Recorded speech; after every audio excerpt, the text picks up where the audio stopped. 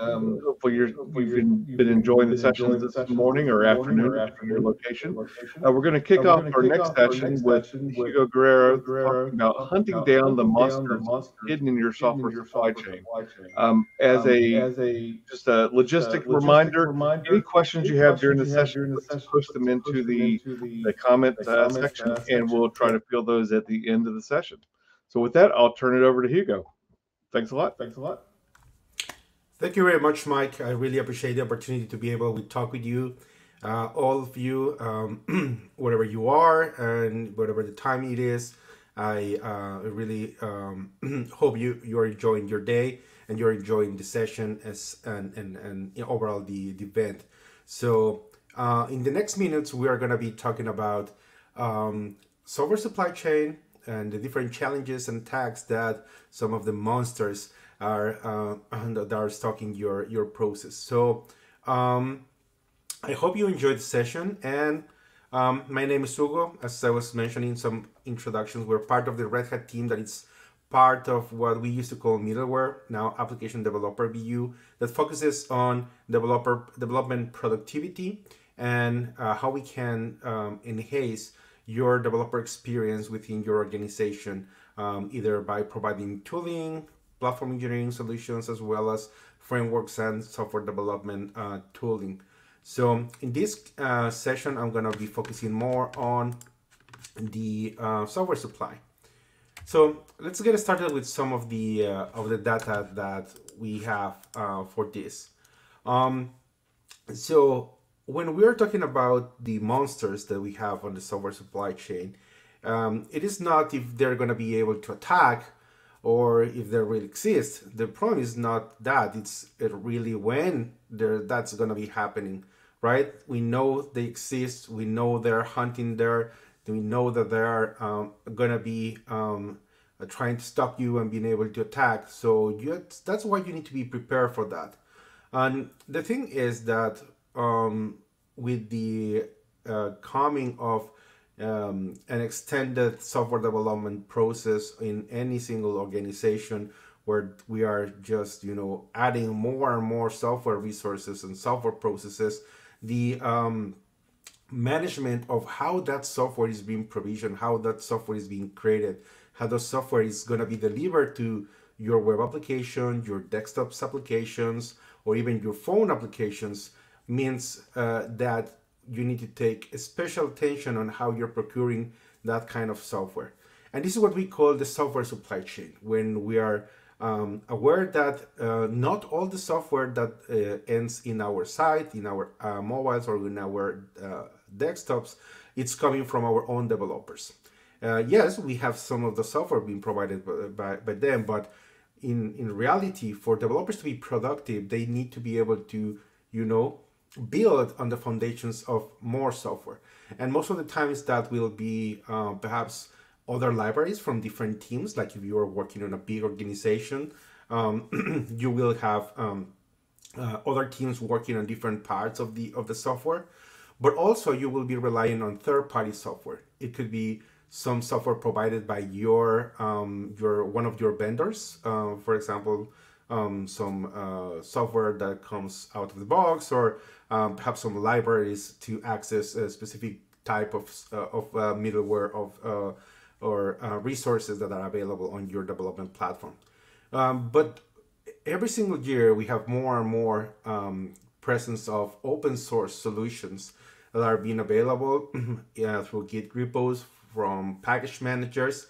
And uh, those also provide by uh, third-party developers uh, where some of the times we don't have like a direct um, contract or uh, use uh, of those. And this is uh, some of the things we need to take in count because when there's no uh, strict relationship or the type of licenses is uh, as, as, is, um, sometimes our software can be one of the points of entry for for attackers, for these monsters to to become present and, and show in our in our um, in our backyard. So that's why we need to be able to to take some measures to be able to uh, work around these potential issues, these potential threats and attacks that uh, can become present at any time.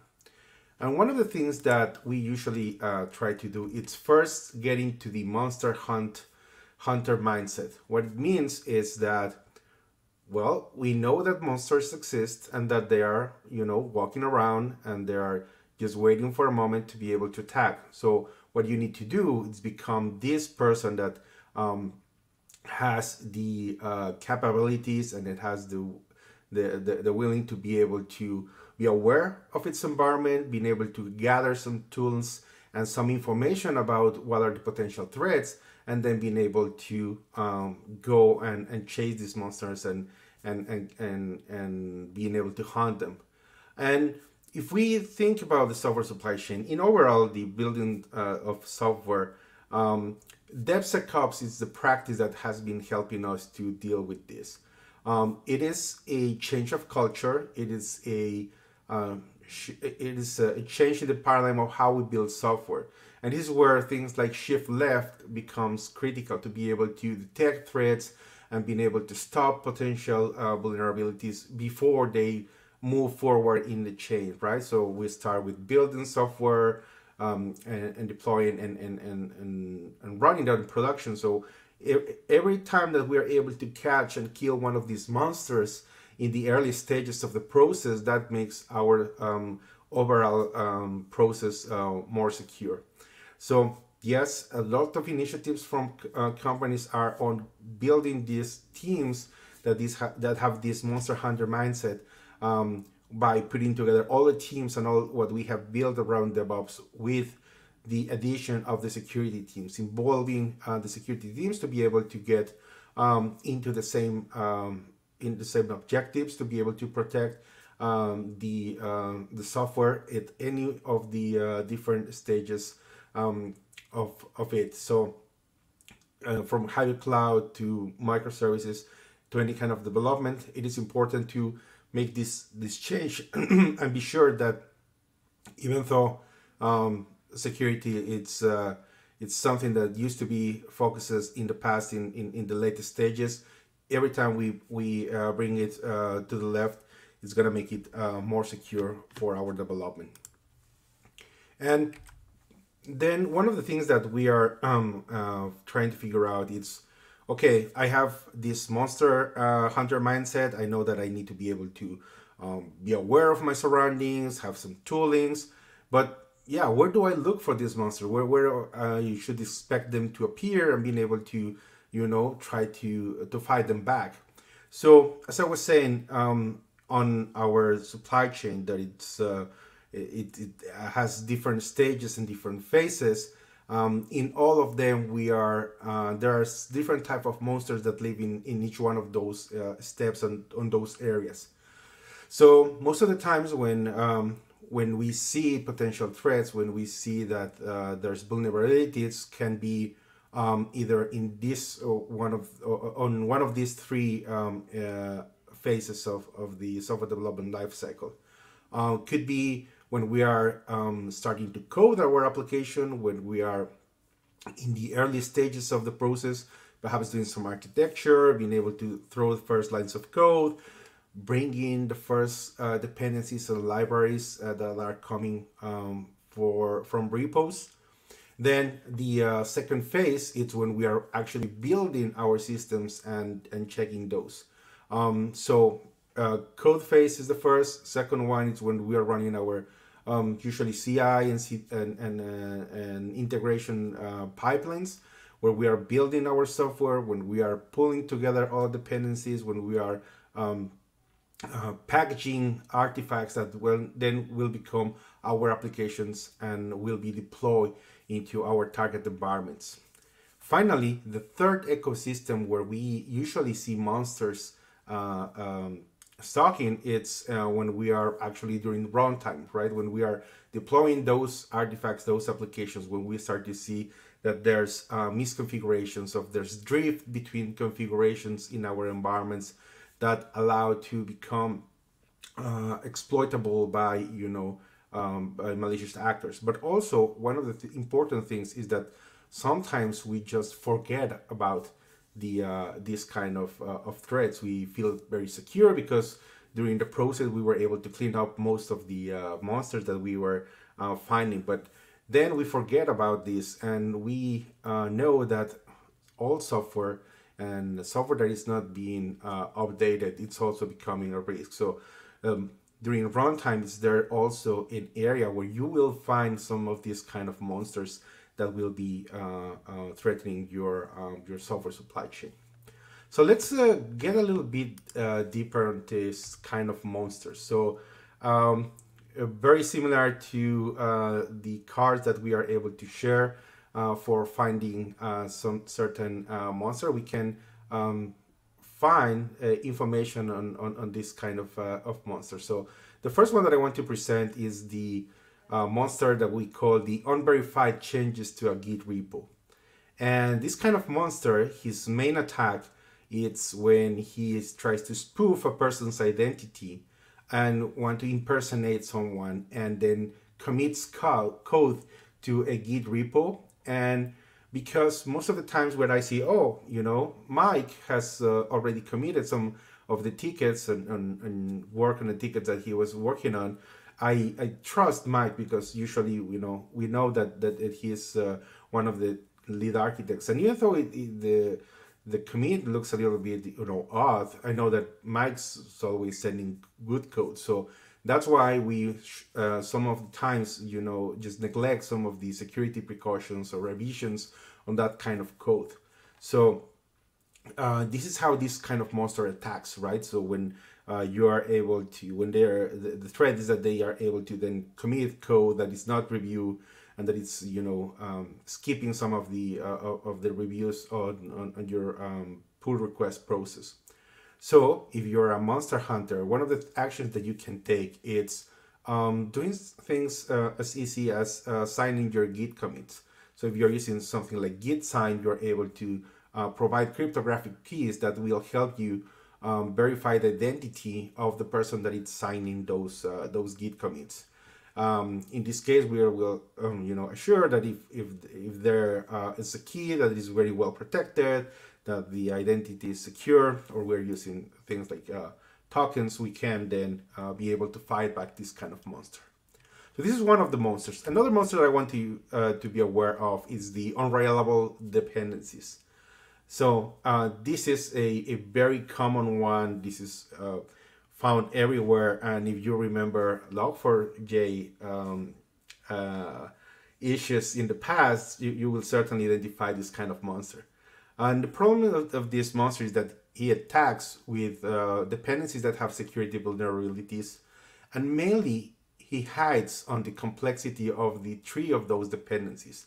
And mainly to the dependencies that are transient when we explicitly explicitly um, put some uh, dependencies on uh, our POM XML files or our uh, package.json, we know exactly which versions are, and we can just, you know, run simple queries to be able to get that information. However, sometimes those dependencies have other dependencies that become transient and then uh, transitive, and then um, we are not able to easily check which one of those dependencies are on uh, versions and releases that have some vulnerabilities. So to protect you and being able to hunt down this monster, I recommend you to use uh, trusted curated content. So be able to be sure that the content that you're pulling, the dependencies that you're pulling are being provided, um, they are being verified by um, by your uh, procurement uh, process. Um, also being able to automate software composes, uh, composition analysis and dependency analytics. So being able to uh, um, roll out and, and, complete all that tree of dependencies and being able to review each one of those. Um, also, it's, it's uh, something useful for you to kill this kind of monster to be able to um, have this signed and verified uh, artifacts that you know that uh, have not been tampered, have not been contaminated or been um, uh, a place where this monster can hide. And you will ask, well, what are the minimum requir requirements, right? So most of the times there's um, some processes and, and, and, practice for compliance, but also there's um, some now uh, requirements as part of the specifications and, and regulatory um, uh, guidelines to be able to say, you know, that I trust this software or this source code. And this is where things like the software bill of materials, what we usually call SBOMs, uh, become um, some uh, of the tooling that we can uh, that can help us do at this to verify that the origin and the source of our code uh, it's uh, it's secure it's more secure. So also we have um, uh, files to be able to handle vulnerability management. We also can do software composition analysis as we as we were saying which parts of the software are being collected uh, one of the tools that I really like it's uh, for dependency analytics. It's the Red Hat um, dependency analytics uh, plugin for VS Code, where you can just go over your POM file if you're doing Java, for example, and being able to run on-demand information on your dependencies, being able to show the information and how they are um, being uh, ranked. As you can see, if there's like high risk, less risk on the information that is being provided by um, authorities like Red Hat. We are um, obviously building software and open source software that uh, needs to comply with uh, many of these uh, requirements. So uh, we know exactly we have a very huge um, uh, catalog of uh, vulnerabilities and CVEs and information regarding where are certain libraries standing in, in regards of security. So this is a very useful tool. It's available from your own um, uh, IDE, but also you can get onto uh, cloud.redhat.com being able to uh, query that if you are coming from like the security team. More monsters that you need to be aware of. If you're doing containers, if you're doing OpenShift, one of the uh, most common monsters that you will find is the tampered containers. And this is um, this can be sometimes a malicious uh, actor being trying to you know, uh, to pollute your uh, your containers. But actually, most of the times it's just outdated versions, right? So um, when you are building on top of certain container images, if you are, you know, just pulling them from the internet and um, th th that could be something that it's you know being corrupted by, by some malicious agent but most of the times they're just of the outdated versions and the problem with outdated versions is because now the container has more information regarding on how the application is being executed, not just our artifact, but also information regarding the whole stack. This is where we can find things like um, operating operating system uh, package vulnerabilities, very old versions of uh, of OpenSSL or very old versions of um, Node.js or the Java runtime that um, that are being uh, used as as part of the container for for the runtime environment. And perhaps, yes, we build our artifacts using uh, trusted uh, software and running on, on secure machines. But suddenly when we are running those on, on outdated uh, uh, containers or containers that has still have vulnerabilities, those, that becomes a, a threat that we need to be aware of. So how you can uh, take actions against this monster?